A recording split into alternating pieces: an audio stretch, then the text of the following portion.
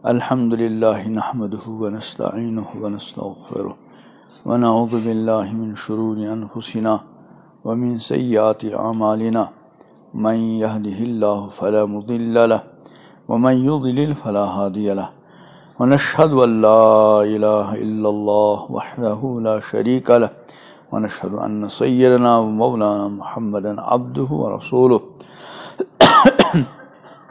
व मौलाना मुहम्मदन अब्दुहु व रसूलुहु सल्लल्लाहु तआला अलैहि वसल्लम तस्लीमन कसीरा अम्मा बाद क़ाल अल्लाह तबारक व तआला अऊज़ु बिल्लाहि मिनश शैतानिर रजीम बिस्मिल्लाहिर रहमानिर रहीम वस्बिर नफ्सक मअल्लज़ीन यदऊन रब्बहुम बिलगदाति वल अश्यि युरीदून वजहह वला तअदु ऐनाक वला तुति मन अगफलना कल्बहु अन ज़िक्रिना वत्तबअ हवाह व कान अमरुहु फुरुता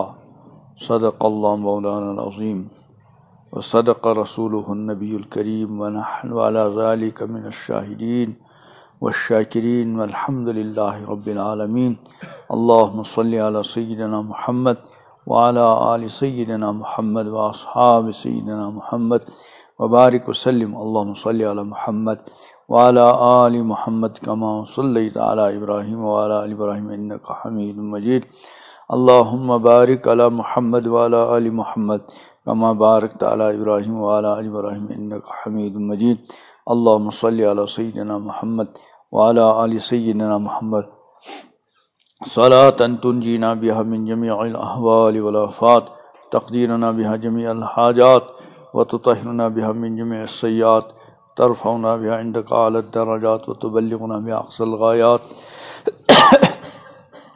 मिन जमील खैरात फिल हयात व बादल ममात इन्नक अला कुल्लि शैइन कदीर हज़रत सामीन ये जो कुरान पाक की आयत तिलावत की गई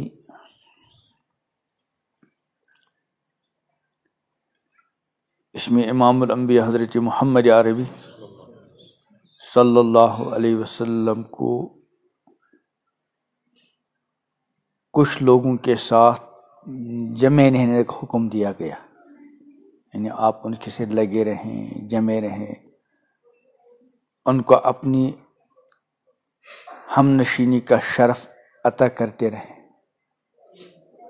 और कुछ लोगों के बारे में आपको हुक्म दिया गया कि आप उनकी बात न माने। आयत का शान नजूल है। किसी मौके पर बाज रोसाई मक्का ने इमाम हज़रत मोहम्मद अरबी सल्लल्लाहु अलैहि की खिदमत में ये दरख्वास्त की गई कि आपके पास चूँकि नादार कस्म के बेसहारा, गरीब और बेहैसियत लोग आपकी मजलिस में होते हैं, हमको इनके साथ बैठने में आर महसूस होती इसलिए हम आपकी मजलिस में नहीं बैठ पाते। अगर आप हमारे लिए मुस्तकिल से मजलिस कायम करें और उस मजलिस में इनको ना आने दें तो हम आपकी बात सुनेंगे। मुख्तलिफ़ इसके शान नजुल बयान किए गए हैं, खुलासा उसका यही है। इमाम हज़रत मोहम्मद अरबी अलैहि वसल्लम चाहते ही थे कि किसी तरह से रोसाई मक्का ईमान लाएँ। उनकी देखा देखी बकिया लोग भी ईमान लाएँगे। और जो आपके पहले से ईमान लाने वाले हजरात, खसूस असाब सुफ़ा और इस तरह के लोग तो उनके बारे में आपको इतमान तो वो तो हैं ही अपने। और हर वक्त साथ रहते हैं। अगर इनके ईमान लाने की उम्मीद पर उनको कुछ देर के लिए अलग कर लिया जाए तो कोई ऐसा मसला बज़ाहिर नहीं है। और जब उनको इसकी हमत समझाई जाती तो उनको भी नागवार न गुजरता बल्कि खुश होते किसी वो भी हर एक के बारे में ख्वाहिशमंद थे कि सब ईमान लाएँ। लेकिन इमाम हज़रत मोहम्मद अरबी अलैहि वसल्लम को अल्लाह की तरफ़ से हुक्म दिया गया, वसबिर नफ्स कमाजीना आप अपने आप को रोके रखें, अपने आप को जमाए रखें और अपनी हम नशीनी का शरफ अता करते रहें। इन लोगों को यदून रब बिलगदात वलशी जो सुबह शाम अपने रब को पुकारते हैं। नमाजों के ज़रिए, दुआ के ज़रिए, ज़िक्र तिलावत के ज़रिए। सुबह शाम चूँकि अल्लाह को याद करने की खसूस अवकात हैं। और इनका मकसद क्या है? यरीदून वजह। इनका मतलूब अल्लाह ताला की ज़ात है। अल्लाह की रज़ा है। चाहते हैं किसी तरह से अल्लाह हमसे क्या हो जावे राज़ी। ये तो हुक्म दिया गया। फिर आगे फरमाया गया, वला तादो आईना का अनहुम। आपके जो निगाही करम हर वक्त उन पे रहती है। आप अपनी मुबारक निगाहों को इनसे हटाए ना।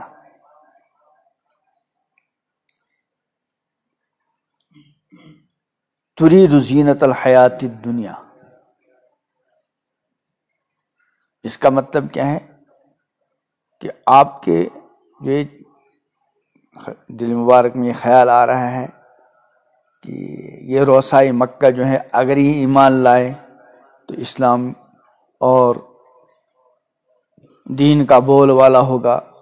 उनकी देखा देखी दूसरे लोग भी ईमान लाएँगे। वो चूँकि दुनिया एतबार से बड़े हैसियत के लोग हैं।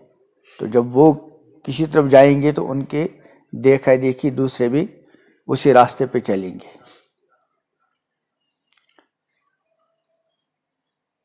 एक हुक्म तो ये दिया गया इससे मालूम हुआ कि अल्लाह ताला की रज़ा के लिए, अल्लाह ताला की खुशनुदी के लिए, अल्लाह की इबादत, अल्लाह की बंदगी और अल्लाह को याद करना, अल्लाह से मांगना, अल्लाह से लव लगाना, ये इतनी बड़ी चीज़ है कि जिन लोगों के अंदर ये होता है, ये चीज़ें, ये आमाल तो पैगंबर करीम सलात व तस्लीम का अल्लाह हुक्म दे रहे हैं कि इनके पास जमे रहें।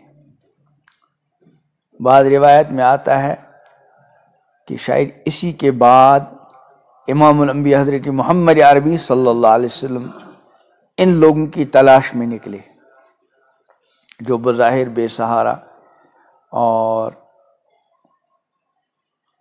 गरीब कस्म के लोग, जिनकी दुनियावी एतबार से कोई बड़ी हैसियत नहीं। दुनिया एतबार से हैसियत होना अलग है और अल्लाह की यहाँ हैसियत होना अलग है। बाद रिवायत में आता है रुब्बा अश असा अकबर बहुत से परागंदा बाल, गुबार आलूद। मदफो उम बिलबाब अगर कहीं किसी के घर जावे तो धक्के देकर उनको निकाला जाए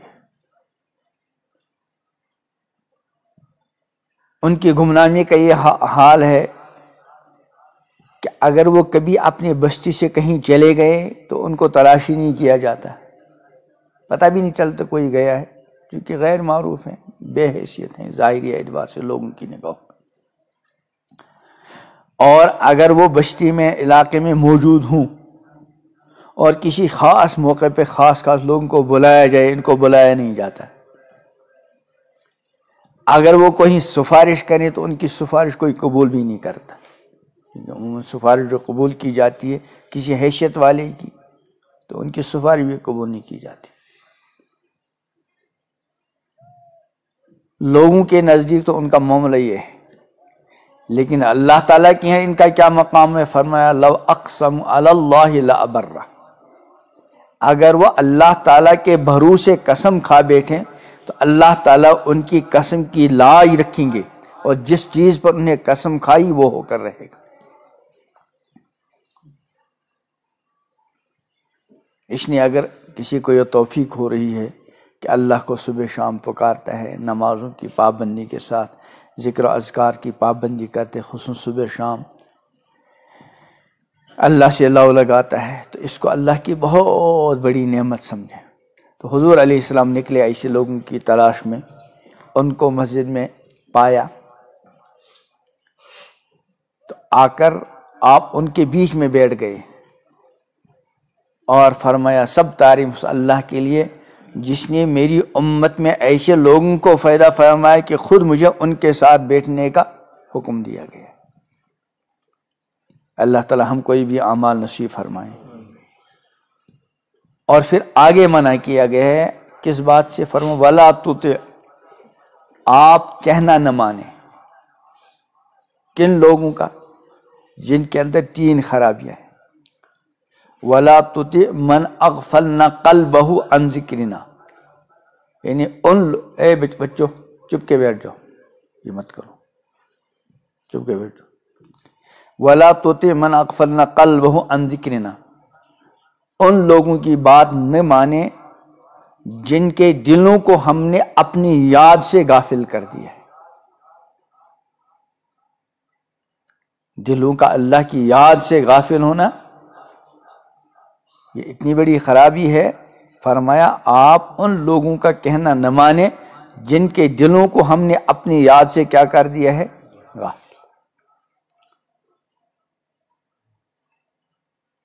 यादें दो तरह की हैं। एक है ज़ुबान से अल्लाह को याद करना, एक है दिल से अल्लाह को याद करना। बल्कि याद की एक और किस्म है, वो ये कि बंदा अपने उठने बैठने अपने आमाल में, अपने अकवाल में, हर चीज़ में अल्लाह को इस तरह याद रखे कि अल्लाह की नाफरमानी न हो। यानी एक आदमी बज़ाहिर कोई दुनियावी काम कर रहा है, लेकिन उस दुनियावी काम के अंदर वो अल्लाह की रज़ा और नाराज़गी, जायज़, नाजायज़, हलाल, हराम का लिहाज रख रहा है। शरीयत के मंशा के मुताबिक कर रहा है। अगरचे बज़ाहिर उसके ज़ुबान पर उस वक़्त ज़िक्र अजगार न हो, तस्बीह, तकबीर न हो और हाथ में तस्बीह न हो, ये भी फिर भी जाकिर है। मुतिन हुआ जाकिर। हर अल्लाह की इतात करने वाला ये जाकिर है। एक ताजर अपनी तजारत की दुकान पे बैठा है और अपनी तजारत के अंदर हलाल, हराम, जायज़, नाजायज़ का पूरा लिहाज रखता है। तो ये पूरा लिहाज रखना, ये भी एक तरह की अल्लाह की क्या है? याद तो एक है अमल के एतबार से, और दूसरा जुबानी लाजाल लिसान का रत्म मिन ज़िक्र और एक है दिल से अल्लाह को याद करना। हमारा मामला बाज मरतबा ये होता है कि अगर हम याद करने बैठ भी गए अल्लाह को लेकिन दिल बाद मरतबा गाफिल होता है। मसलन नमाज़ है। नमाज़ का मकसद ही अल्लाह ताला को याद करने फरमा अकीम सलात ले जिक्री, नमाज़ को मेरी याद के लिए कायम कर ली। लेकिन ये मालूम हुआ कि नमाज़ का मकसद ही अल्लाह को याद करना है। लेकिन बाज़ मरतबा ऐसा होता है कि हमने नमाज़ पूरी कर ली, लेकिन पूरी नमाज़ के दौरान हमको अल्लाह याद आया ही नहीं। हालाँकि चाहिए तो ये था कि जब नमाज़ शुरू करे तो अब अल्लाह के सिवा कोई याद आवे ही ना। अब तो अल्लाह ही की याद है और किसी की नहीं। और मामला यहाँ बाद मरत ये होता है कि नमाज़ शुरू की और सलाम फेरा और पूरी नमाज़ के दौरान अल्लाह याद आया ही नहीं दिल से। ये बहुत बड़ी गफलत की बात है। अल्लाह मेरी भी और आप हजरात की भी इस गफलत से हिफाजत फरमाए। बंदे को तो ये कोशिश करनी चाहिए कि शुरू से आखिर तक पूरा अल्लाह याद रहे। गफलत न हो। अगर ये ना हो सके कम से कम हर रुकन में बंदा अल्लाह को याद करने की कोशिश करे। शुरू कर लिया, कयाम तो कयाम से पहले तो ये नहीं तकबीर से पहले तो याद कर लेना। अब उसकी एक हाँ अलग बंदे की एक खास नस्बत का जहूर हो रहा है। मैं एक मिसाल दिया करता हूँ कि तालब इलम हमेशा तालब इलम है। लेकिन जब तालब इलम पढ़ने के लिए क्लास में आ जाता है तो उसको जहन में होता है कि मैं कहीं हूँ तो ये जो उसका पीरियड लग गया, घंटा लग गया, उसके दौरान उसकी तालब इल्म शान ज़ाहिर होती। इससे पहले वो किस काम में था, किस मिजाज का था, लेकिन अब उसकी पूरी तवज्जो इस बात पर होती है कि मैं तालब इलम हूँ और मेरे सामने मेरे उस्ताद मोहतरम हैं, पूरी तवज्जो उधर ही होती। है और जब तालब इलम की तवज्जो होगी तो उस्ताद की भी खसूसी तवज्जो रहती। है तो बंदा जब नमाज़ के लिए आए तो पहले से तैयार होकर आए कि मुझे अल्लाह की बारगाह में हाजिरी देनी है। और नमाज़ के शुरू करने से पहले ही मुकम्मल तैयार रहे। जैसे कि इमाम हज़रत मोहम्मद अरबी अलैहि वसल्लम ने एक सहाबी को नसीहत फरमाई, सल्ले मुवद्दिन, रुखसत करने वाले की नमाज़ पढ़ लो। उसका एक मतलब ये बयान किया गया है, जब नमाज़ पढ़े बंदा तो माँ से अल्लाह को रुखसत कर दे। हर चीज़ को। अब मैं हूँ और मेरा अल्लाह है।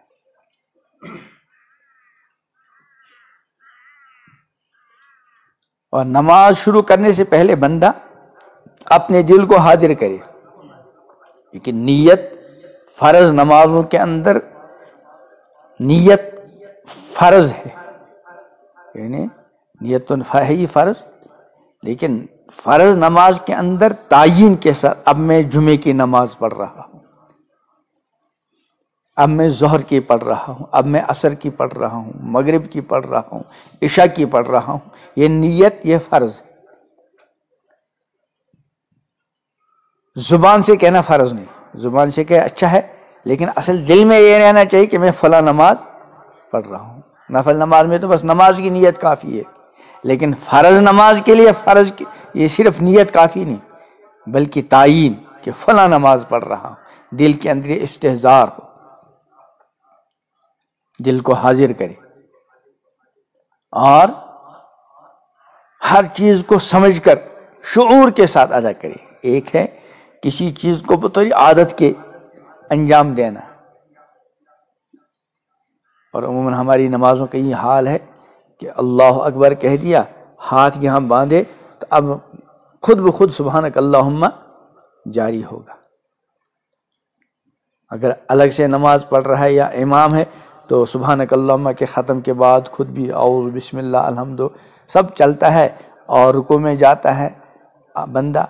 लेकिन ये बात मतलब गैर शूरी तौर है, बतौर आदत के। हालाँकि नमाज़ बतौर आदत के नहीं बल्कि बल्कि तौर इबादत के। यह हर चीज़ अलग इबादत है।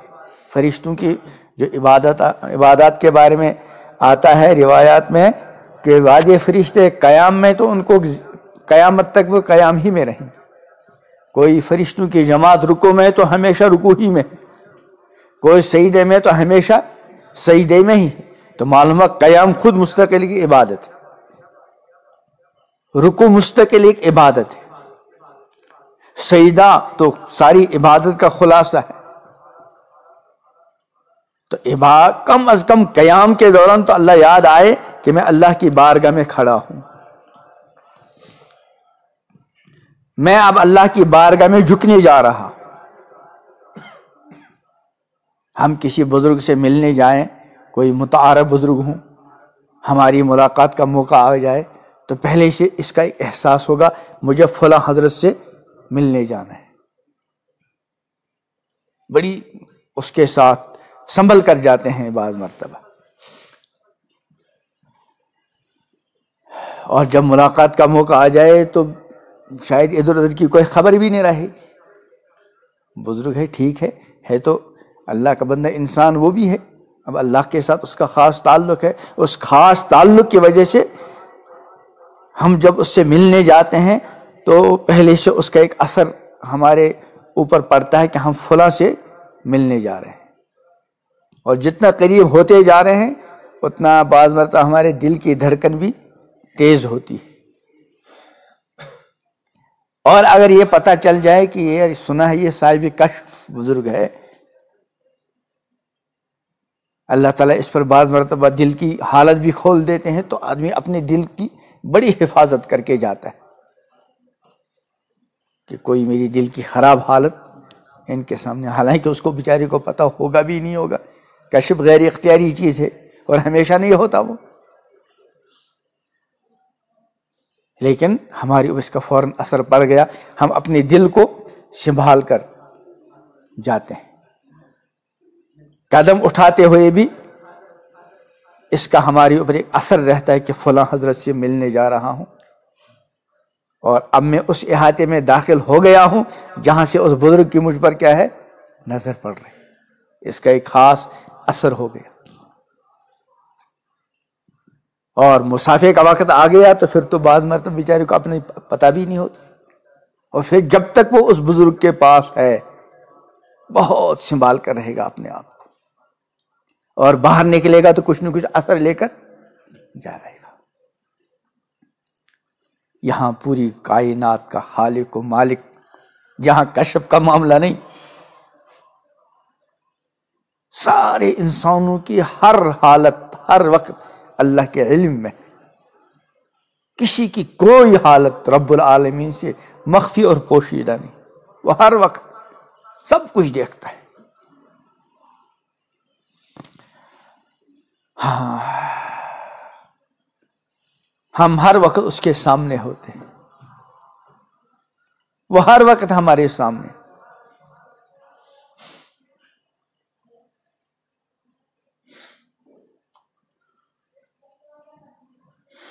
अब खास हाजिरी के लिए जा रहे हैं अल्लाह की बारगाह में।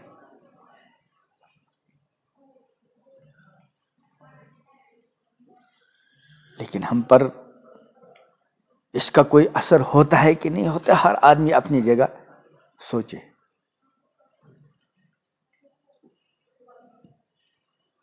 तो नमाज़ शुरू करने से पहले इस्तेजार हो कि मैं अल्लाह की बारगाह में अपनी अबदियत को ज़ाहिर करने और अपनी अबदियत का मुजाहरा करने के लिए जा रहा हूँ। ये मेरी बंदगी का, समझ लीजिए, अपने अल्फाज में बंदगी का पीरियड लग गया मेरा। बंदा तो मैं हमेशा हूँ, लेकिन अब मैं फिर बंदा हो और कुछ नहीं। तो कयाम के दौरान कम अज कम अल्लाह, एक याद तो आ जाए, कयाम मुस्तकिल एक इबादत है। अब अल्लाह के सामने झुकने के लिए जा रहा हूँ तो इश्तेजार के साथ झुके, इश्तेजार के साथ रुकू करे। सईदे में बंदा अल्लाह के इतने करीब जाता है कि उससे ज़्यादा करीब जाने का कोई मौका है नहीं बंदे के पास। हदीस में है कि बंदा जो अपने अल्लाह के सबसे ज़्यादा करीब होता है तो वो सईदे की हालत में अब कितनी मरतबा ऐसा होता, अल्लाह मेरी गफलत को भी दूर करे। आप हजरात को भी अल्लाह ताला हकीकी सईदा अता करे। आपके बरकत से मुझे भी हकीकी सईदा अता करे। बाद मरतब पूरे सईदे के दौरान जब हम अल्लाह के इतने करीब गए, उससे ज़्यादा हमारे लिए करीब जाने का कोई तरीका है ही नहीं। लेकिन इतने करीब जाकर भी अल्लाह याद नहीं आया ज़ुबान से तो अल्फाज कहे हमने सुबहान रब्बी आला सुबहान रब्बी अजीम कहा, अल्लाह अकबर कहा ज़ुबान से। लेकिन दिल भी इस ज़ुबान के साथ शरीक था कि नहीं? तो फर्म वाला तो मन अकफल न कल बहु अनजिक्रिना जिनके दिलों को हमने अपनी याद से गाफिल कर दिया है आप उनकी बात न माने, उनका कहना न माने। तो पहली खराबी क्या बयान की है उनकी? कि उनके दिल अल्लाह की याद से क्या है? गाफिल। मन अकफलना कल बहु अंजिर जिनके दिलों को हमने गाफिल कर दिया। यहाँ गाफिल करने की नस्बत अल्लाह ने अपनी तरफ़ की और बाद रिवायत में गफलत को बंदों का फैल बयान किया गया। इससे मालूम बंदे का मामला बैन बैन है। हे तो सब कुछ इसी के इख्तियार में है और नहीं ये मजबूरी महज है। इसलिए यहाँ, मन अकफलना कल्ब जिसके दिल को हमने गाफिल कर दिया। तो अल्लाह ने अपनी तरफ़ नस्बत की। और दूसरे मौाक़े पे, गफलत की नस्बत बंदों की तरफ़ की। तो मालूम हुआ, बंदा मजबूर महज भी नहीं है। और बंदा अपने अफआल का खालिक भी नहीं। यानी इसका मामला बैन बैन का है। अपने इख्तियार से याद करने की कोशिश करें। तो पहली खराबी, मन अकफल कल्ब ज़िक्र और दूसरी खराबी व तब हवा कि उन लोगों की बात न माने, उनका कहना न माने, जिनके दिलों का हमने अपनी याद से गाफिल कर दिया व तब हवा और उन्होंने अपनी ख्वाहिशात नफसानी का इतबा किया।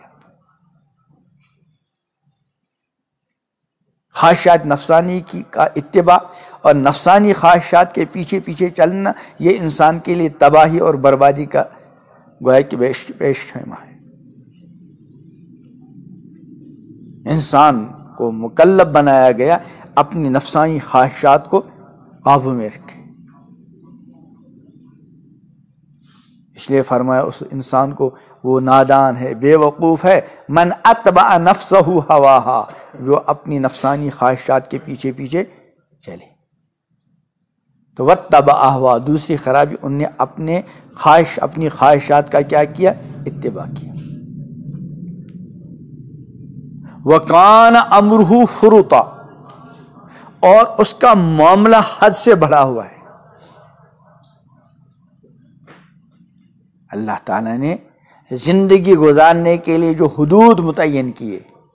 और इमामबिया हज़रत मोहम्मद अरबी अलैहि वसल्लम ने ज़िंदगी गुजारने के लिए जो अल्लाह के मुकर करद हदूद की निशानदी फरमाई ये उन हदूद के अंदर नहीं रहता, यह हद से बढ़ जाता है। तो ऐसू की बात कहने से अल्लाह ने पैगंबर करीम आसमाम को ऐसू की बात मानने से मना फरमाया। अब हर आदमी अपने बारे में ये मुहासबा करे, अपने बारे में सोचे कि आया मैं उन लोगों में शामिल हूँ जिनके बारे में पैगंबर करीम सल्लल्लाहु अलैहि वसल्लम को हुक्म दिया गया, मुकल्लब बनाया गया, पाबंद बनाया गया कि आप उनके साथ जमे रहें, उनको अपनी हम नशीनी का शर्फ अता करते रहें। आया, हम उनसे हैं, अल्लाह ताला हम सबको उनमें से बना दे।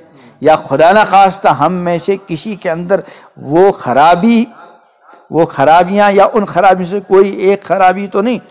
जिन खराबियों की वजह से हुजूर अलैहिस्सलाम को हुक्म दिया गया कि जिनके अंदर ये खराबियाँ हों, उनकी बात न माने। जब बंदा बार बार बार बार बार बार सोचता है, फ़िक्र करता है और कोशिश करता है तो अल्लाह ताला उसके लिए रास्ता खोल देते हैं और आसानियाँ पैदा फरमाते हैं। अल्लाह तबारक व ताली हमारे अंदर भी वो खूबियाँ पैदा फरमाएँ, जिन खूबियों का इस आयत के पहले हिस्से में ज़िक्र किया गया। और अल्लाह ताला मेरी भी, आपकी भी, पूरी उम्मत और सारी इंसानियत की उन खराबियों से हिफाज फरमाएँ, जिन खराबियों का इस आयत के अखीर में तस्करा किया गया है। रबना तकबल मन्ना इन का तस्मीम सल्ला